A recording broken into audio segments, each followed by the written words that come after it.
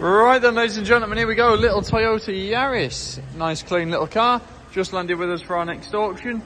On a 12 plate in silver, as you can see. And uh, just a nice, bright, usable little Yaris.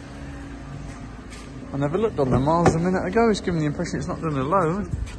73633 showing on the clock there, look. Lovely and tidy on the inside. Nice dashboard. Centre console area is lovely. Little six speed, as you can see.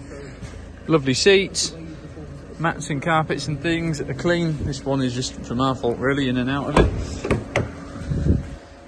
Nice and clean in the shuts in the back. Again, door cards and things are nice. Lovely across the back seats.